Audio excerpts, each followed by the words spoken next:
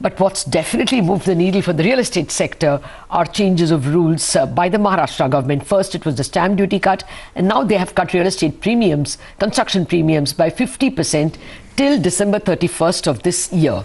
Uh, well, let's get an expert. Sunil Rohokale, the managing director and CEO at the ASK Group, is joining us. Good morning, Mr. Rohokale. Thank you very much for joining us and uh, a great 2021 to you. Uh, I mean, how much does this reduce construction costs? So, good morning, uh, Lata, uh, Sonia, and Anuj, and all the TV 18, uh, CNBC TV 18 viewers. yeah, I think, Lata, this is something which is much needed uh, stimulus required for real estate as a sector. Last five years, we have seen uh, prices going nowhere. The projects got continuously delayed, and the significant part is the capital starved. No, Sunil, we, Sunil, that we know.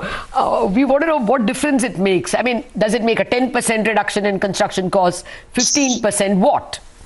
So typically in a uh, non-Mumbai locations, one third is the construction cost. Mumbai, the construction cost is little less than one third.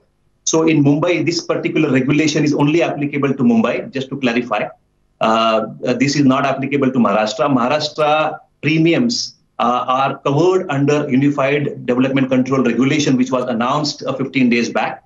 Uh, so this particular 50% uh, premium cut is only limited to Mumbai, and this would surely make two differences, Lata. That would make uh, anywhere between 5,000 to 10,000 rupees per square foot on the on the on the on the cost side is going to get reduced by virtue of these premiums, depending on the the location of the projects. That clearly means, and this 50% is not free of cost, Lata. Let's be very clear whenever somebody is going to avail this 5% scheme, he has to give the 5% stamp duty concession to the customer.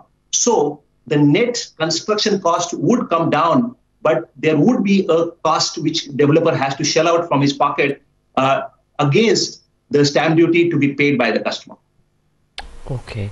Uh, so, what is your sense? I mean, because he has to pass it on, will home constructions, will home buying increase? Uh, will uh, unsold homes go up? I mean, uh, who are the beneficiaries now? So, Lata, everybody is going to be beneficiary. And I think this is a much needed part. Let me tell you, first beneficiary is going to be the end consumer. And, and I think the second beneficiary is the, the state government. And the last the beneficiary is the developer. So it is basically meant for all three. And I'll tell you, explain why. If you want to buy a home, and if you are buying a home of a 5 crore, 10 crore, 1 crore, whatever that may be, and if you're going to have 5% uh, not going to be get charged with the lowest interest rate of 6.9% today, your affordability is actually enhanced the big time. So you are going to prepone your buying. So home buying would see a extraordinary enthusiasm, no doubt about it. As far as state government is concerned, they are they have seen that the success by reducing the stamp duty by 3% in Mumbai and uh, uh the 2% in uh, uh, 2% in the rest of the Maharashtra. And they could able to see the jump in the revenue collection. So their revenues have gone up. And who is ultimate beneficiary? The developers have started getting cash flows. And those are much needed cash flows to complete the projects. And those those projects will be, become financially viable. And I think developers will be able to deliver those on time. So my sense is that this particular initiative by state of Maharashtra is so so valuable at this point of time to turn this whole sentiment and to bring in this Goldilocks moment in real estate sector, in residential in specific. Sure. Sure. Okay, uh, Sunil, good morning. You said that there will be a 5,000 to 10,000 rupees per square feet reduction in cost. Will that entire cost reduction be passed on to the home buyer? As I mentioned, the reduction in the cost would be adjusted towards first is the stamp duty, which the developer has to pay on behalf of the customer.